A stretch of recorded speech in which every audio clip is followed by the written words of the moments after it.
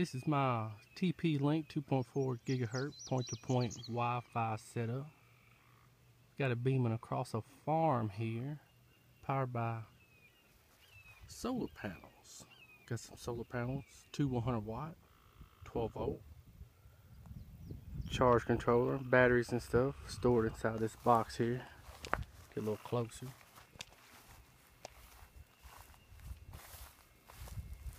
It's all inside that box. These are power over Ethernet, point to point. Share a internet connection across a farm about, oh, it's about 3,000 feet from the other setup point. Share between two houses out here on this side. Get about 15, 20 megs of throughput works out pretty good. I've only got four megs of DSL, so it's more than enough to support internet browsing and things like that.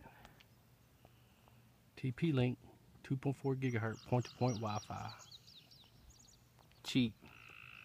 It's about a 150 bucks, give or take, depending on where you buy them from. Like I said, it's uh, about 3,000 feet.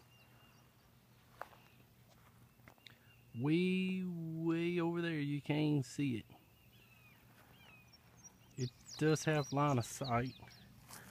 See if I can get a better shot of it. Straight through the middle of all those trees.